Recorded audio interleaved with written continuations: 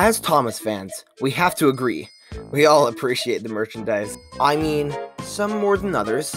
We have the OGs like Ertl, Take Along, Wooden Railway, and Plarail, and some newer ones like Diapet or Minis, I guess.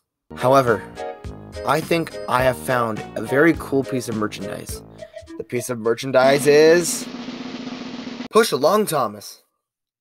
What? No, I don't mean the 2020 version. Ew.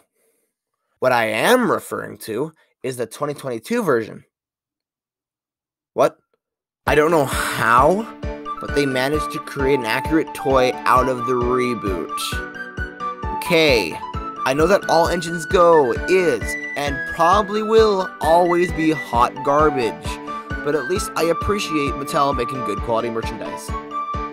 Too bad they're two years too late. Ha!